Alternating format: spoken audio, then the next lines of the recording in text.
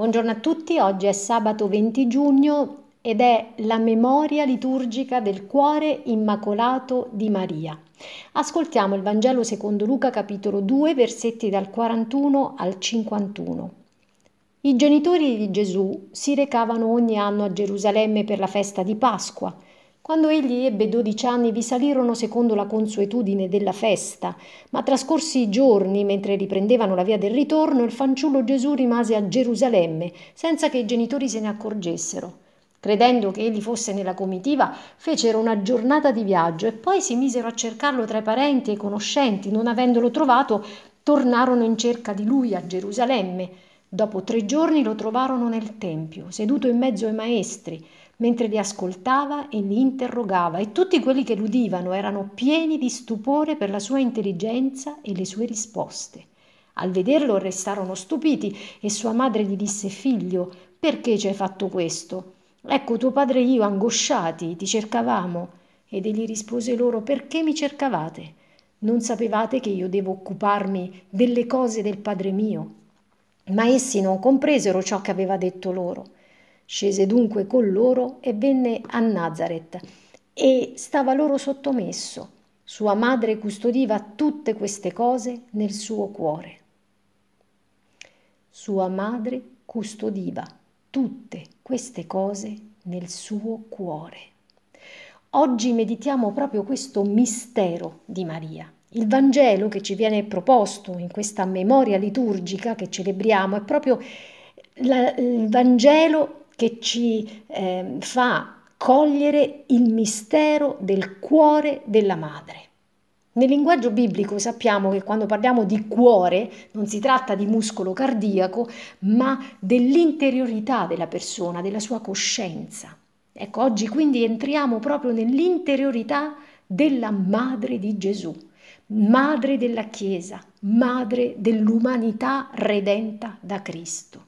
Il cuore di Maria l'interiorità della più pura tra le creature, che dal principio della creazione fu pensata da Dio per contenere l'agnello senza macchia, colui che ha purificato tutti noi col sacrificio della croce, del dono totale dell'amore.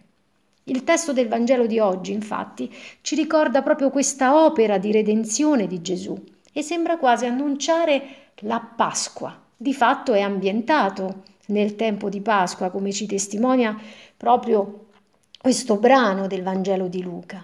Gesù adolescente viene cercato, ma solo dopo tre giorni viene trovato, proprio tre giorni, un tempo che ricorda il triduo pasquale. Al terzo giorno Gesù si fa trovare nel Tempio, lui che è il vero Tempio di Dio, la presenza di Dio stesso in mezzo a noi. Ed ecco le parole della rivelazione. Perché mi cercavate? Non sapevate che io devo occuparmi delle cose del Padre mio? Una frase che nel testo originale greco suona in traduzione in questo modo. Non sapevate che io devo essere nelle cose del Padre mio? La madre cerca e ha cercato per tre giorni il figlio, angosciata pensa che si è perso, ma Gesù non si è perso. Anzi, dalla risposta che dà Gesù, sembra che sia stata lei a perdersi. Lui è nel Padre. Siamo noi che lo cerchiamo altrove. E Maria oggi ci testimonia proprio che ciascuno di noi, come lei, dovrebbe imparare a stare nel Padre nelle cose del Padre, come Gesù. Certamente anche Maria ha capito questo mistero dopo la Pasqua di Gesù. Nella Pasqua ha finalmente capito quello che custodiva il suo cuore, il dono vero della sua interiorità, che desidera oggi offrirci. Così per l'annuncio di questo Vangelo, testimonianza di risurrezione, tutti noi, seguaci di Gesù, siamo chiamati a vivere col cuore della madre la sua interiorità che non è stata mai turbata anche quando non capiva nulla, anche quando si era persa. cercando il Signore chissà dove, per tre giorni, angosciata. Impariamo allora che più che lamentarci in certe situazioni o cercare a tutti i costi delle soluzioni o angosciarci per risolvere i nostri problemi, dovremmo pregare la Madre di Gesù che ci aiuti a vivere questa sua esperienza, a essere nel Padre. Il verbo greco dia, diatereo significa proprio fare la guardia, mantenere con attenzione, custodire, indica proprio questo atteggiamento di Maria che ci vuole condurre al Padre, come Gesù, con amore di figli.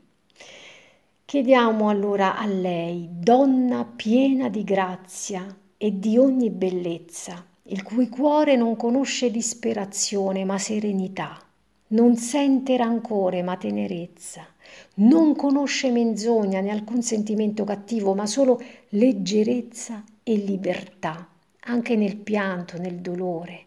Maria la vediamo così. Chiediamo allora a lei di donarci i sentimenti del suo cuore puro e immacolato.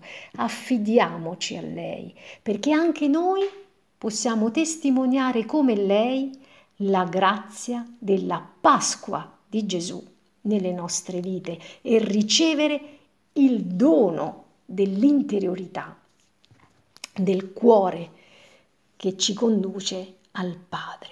Buona giornata.